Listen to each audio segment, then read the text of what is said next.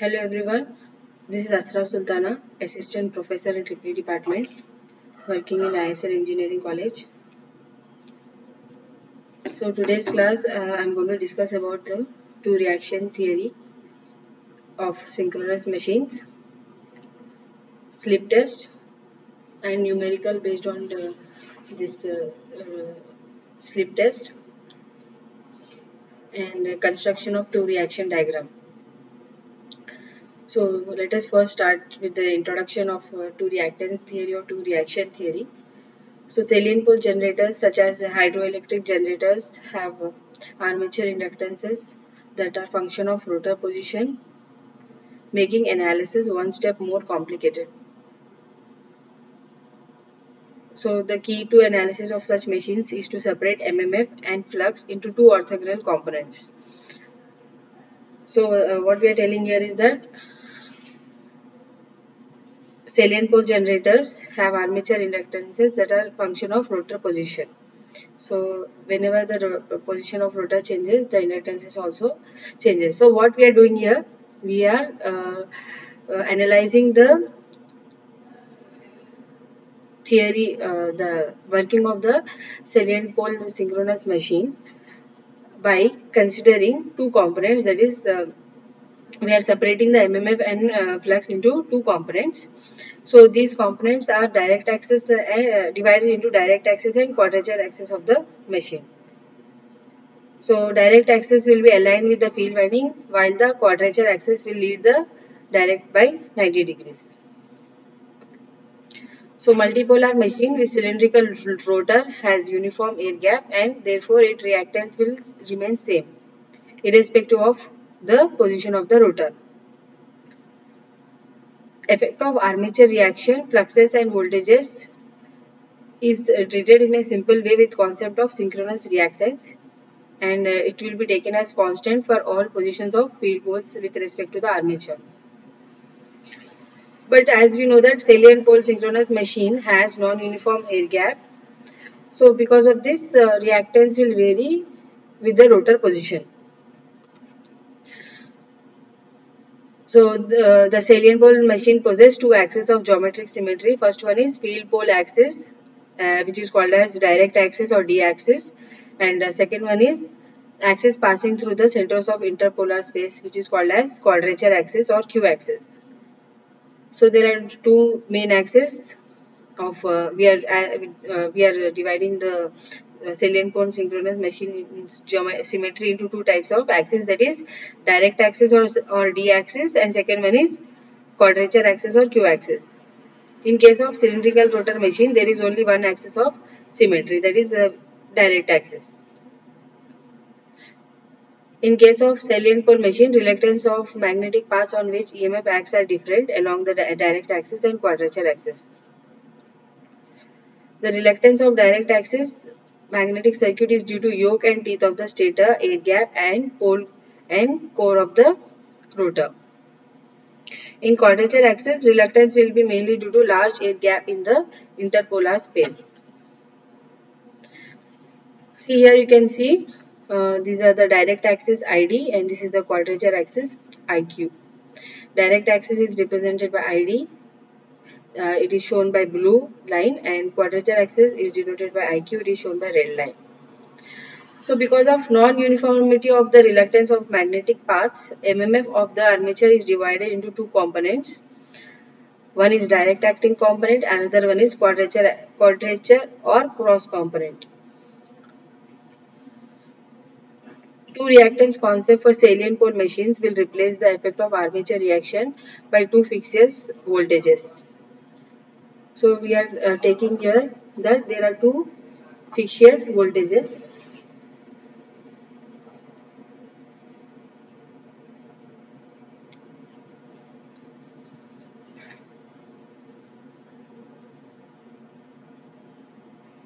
So when the armature current is in phase with the excitation voltage, entire MMF of armature will react at right angles to the axis of salient pole. So all the armature MMF is in quadrature. If the armature current is in quadrature with the excitation voltage, entire MMF will be acting directly upon the magnetic paths. So when there is a phase difference between armature current and excitation voltage, uh, some angle that is between 0 and 90, the armature element will have both direct acting and quadrature component.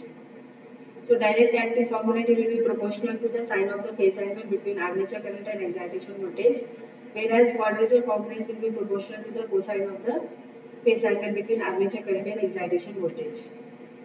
So this two reactance concept will be similar to the synchronous impedance concept in that the effect of armature reaction is taken into account by means of equivalent armature reactance voltage. However, the difference in the reluctance of magnetic paths upon which the two components of uh, armature element act, the value of equivalent reactance uh, for the direct component of armature element will be greater than the value of equivalent reactance for the quadrature component of armature element. So, the two reactance concept for salient machine will replace the effect of armature reaction by two fictitious voltages. These uh, reactance voltages are uh, nothing but ID XAD. These two voltages ID XAD and IQ XAQ, where ID and IQ are the components of armature current along direct and quadrature axis respectively. So each of these components of armature current will produce a leakage reactance voltage caused by the armature leakage flux. Armature leakage reactance is assumed to have the same value XL for both components of armature current. Therefore, there will be a synchronous reactance for each component of armature MMF. That is XD equal to XAD plus XL and XQ is equal to XAQ plus XL. Now, what is this XD and XQ? XD is nothing but direct axis synchronous reactance and XQ is the quadrature axis synchronous reactance. So uh, this is the uh, phasor diagram where we can see the phi is the difference here. This is IQ uh, or ED here. This is I and V. I is lagging V by some angle. IR is parallel with I. IXD, IXD and IXQ. Okay uh, IXD will be perpendicular to IRE and IQXQ will be perpendicular to ID uh, XD.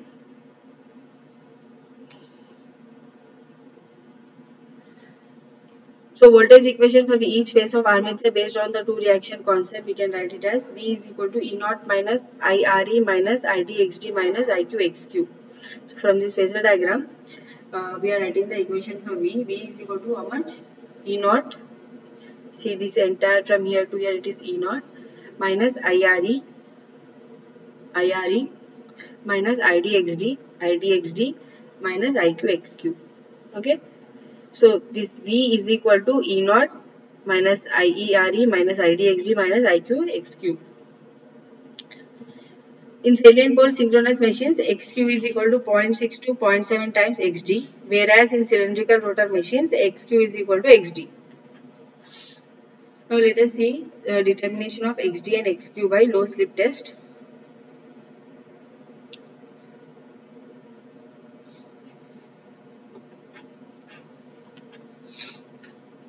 So the values of XD and XQ can be determined by applying a balanced reduced external voltage to an unexcited machine uh, at a speed which is little less than the synchronous speed. So the slip should be less than 1%. What is slip? so we all know what is the slip in induction machines okay so actually uh, the induction the synchronous machines in the, the synchronous machine should run with a synchronous speed ns that is 128 by p uh, so uh, rmf will be produced inside the stator of the machine so speed of rmf will be more than the speed of the rotor uh, uh, so speed of rmf or speed of the stator will be more than the speed of uh, RMF will be more than that of the rotor. So there will be uh, certain slip speed between this stator and rotor.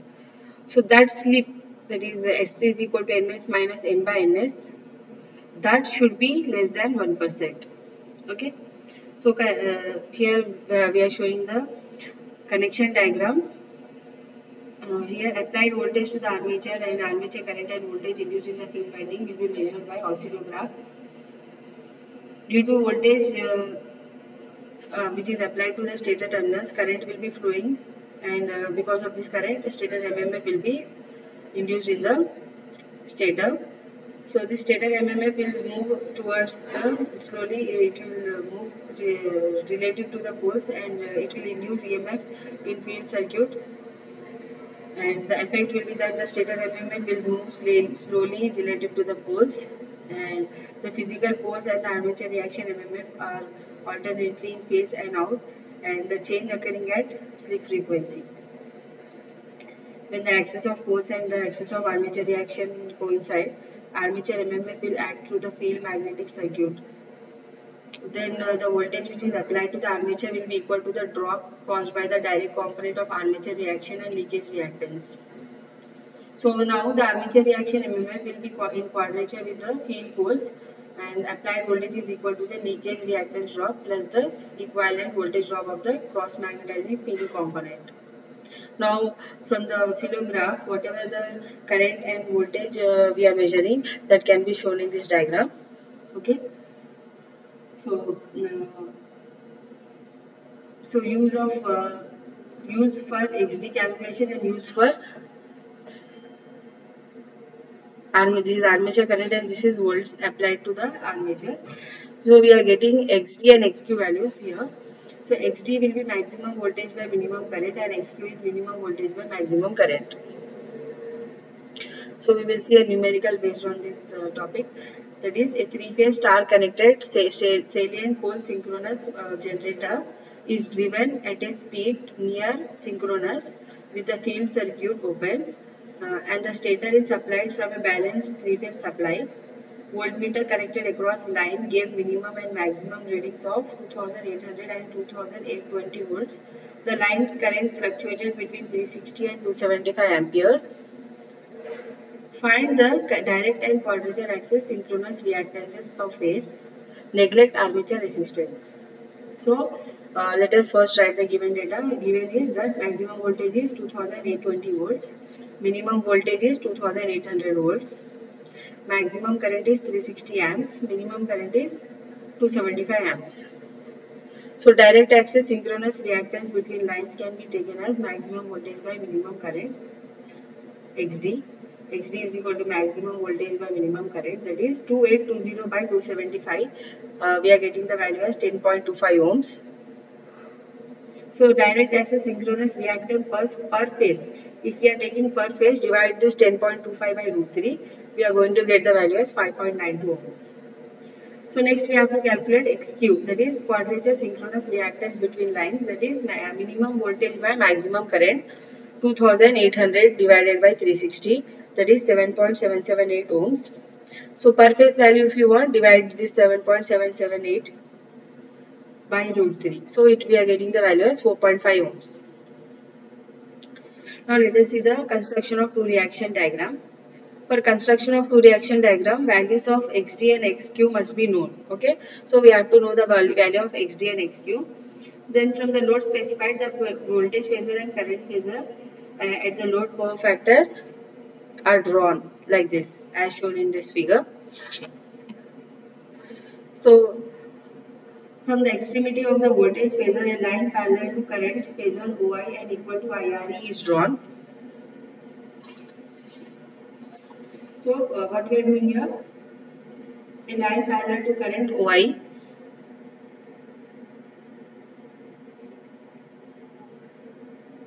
and equal to IRE. So, what we are doing here? Parallel to I, we are drawing IRE uh, I then uh, a line perpendicular to current phasor OI and equal to IXQ is drawn.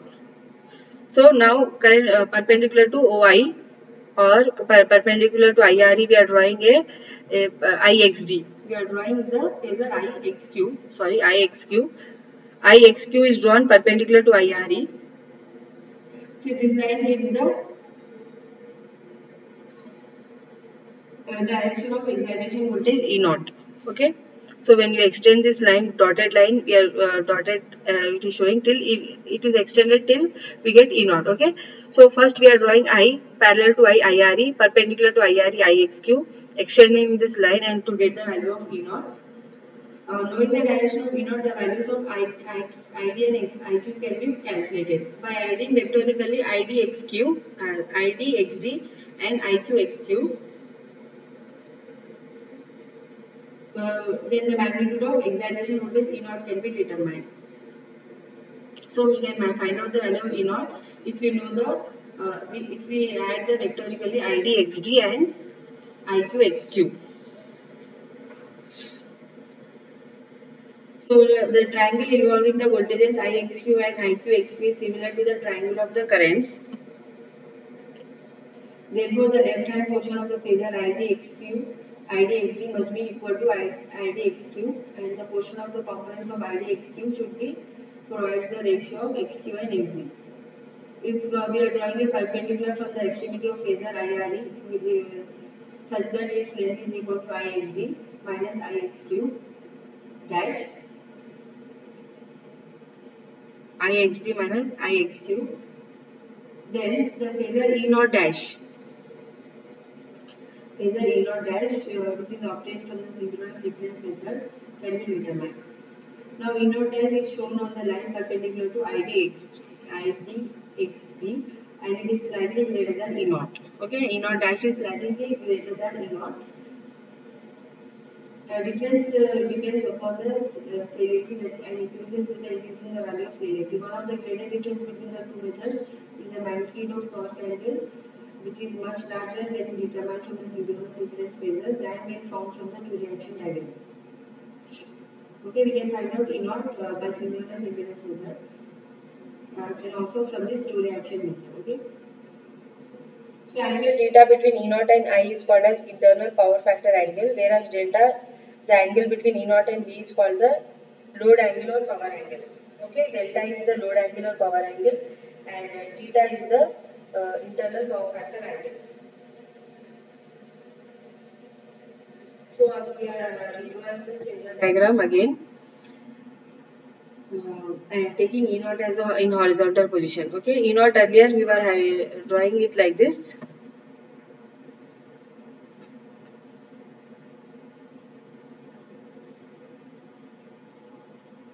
Okay, now we are taking E naught in a horizontal position. So IP will equal to I sine theta. When you take sine is equal to opposite by hypotenuse and cos is equal to adjacent by uh, hypotenuse. So sine will be uh, sine theta is id by i or id is equal to i sine theta. id is i sine theta, iq is i cos theta. So in triangle ABC, angle ACB is theta as the angle between two lines is the same as between their perpendiculars. So, line AC is perpendicular to phasor I and line CB is perpendicular to phasor E naught. So, from triangle ODC we can write tan theta is equal to opposite by adjacent that is BC by OD. DC is equal to DA plus AC and OD is equal to OF plus FD. So, this we are uh, taking from the diagram. Now, DA is V sin phi and AC is IXQ. OF is V cos phi and FD is IRE. So this is uh, this equation is showing generating mode and this is showing the motoring mode. So angle theta can be determined from these two equations. Uh, that is load angle delta is theta minus phi in case of generating and uh, delta is the phi minus theta in case of motoring. Angle phi is taken positive for lagging power factor and it will be taken negative for leading power factor. Power angle delta can be determined from phasor diagram of a salient pole synchronous generator which is supplying lagging current drawn with phasor OV in horizontal direction. From phasor, we can write from phasor diagram E is equal to V plus IRE plus IXQ. Or I can write E is equal to V plus I into RE plus JXQ or E into cos delta plus J sin delta is V plus V into 1 plus J0 plus uh, i into cos, cos phi minus I am substituting the values of uh, re xq okay? We are taking it in uh, exponential form okay? This is exponential form. Uh, so e cos delta plus j e sin delta equal to v plus i into r e cos phi plus x q sin phi plus j into i into uh, x q cos phi minus r e sin phi. So this is the phasor diagram for salient pole synchronous generator supplying lagging current. So equating in phase components of both sides of above expression, we can write E cos delta. So first we are taking the uh, real parts, then equating real parts and uh, uh, equating the imaginary parts. So E cos delta is V plus I into R E cos phi plus I x q sin phi. Then uh, equating quadrature components they, on both sides, uh, that is imaginary sides components we are equating that is E sine delta equal to I into x q cos phi minus R E sine phi. So dividing uh, these two equations we are getting, going to get the value of tan delta. Tan delta is equal to I into x q cos phi minus R E sine phi by V plus I into R E cos phi plus x q sine phi. So for a salient pole synchronous motor drawing lagging current with phasor OV in horizontal direction. Phasor diagram we are drawing here. So from phasor diagram we can write E is equal to E is equal to V minus I into RE plus JXQ. Okay. Uh, or uh, E into cos delta minus J sin delta is equal to V into 1 plus J0 minus I into cos phi minus J sin phi RE plus JXQ. So again considering the real equating the real and imaginary parts I am going to get the value of E cos delta and E sin delta. Dividing these two expressions then we will get the value of tan delta. Tan delta equal to I into x q cos phi minus RE sin phi by V minus I into RE cos phi plus x q sin phi. So power angle delta for a salient pole synchronous machine can be given by the expression tan delta is equal to i into x q cos phi minus re sin phi by v plus or minus i re cos phi plus x q sin phi. Okay, positive sign for synchronous generator and negative sign for synchronous motor. If the armature resistance is neglected, phasor diagram will become as shown like this and the load angle can be determined directly as delta is equal to theta minus phi in case of generating and delta equal to phi minus theta in case of motoring.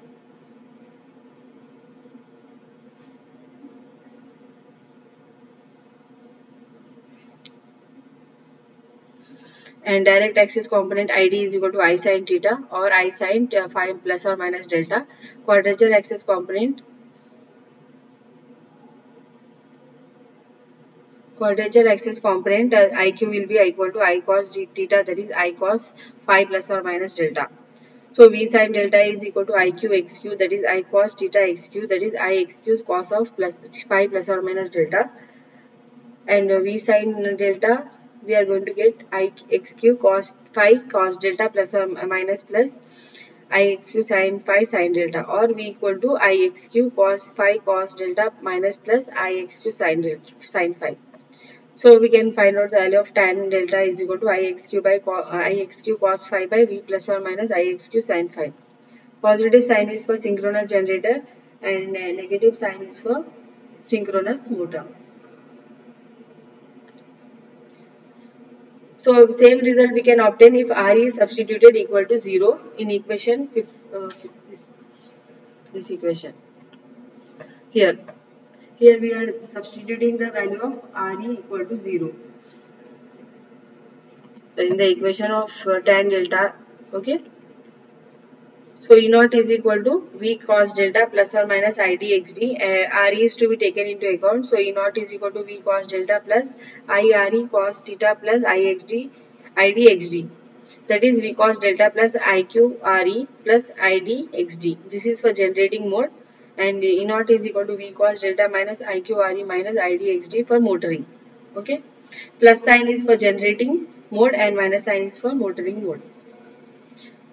Okay students, thank you everyone for watching the video. Next class I am going to tell about the power developed by synchronous generator and a few numericals based on this topic and transient con condition of alternators uh, and uh, lossless efficiency, power flow diagram of alternator and few numericals I am going to tell in the next class.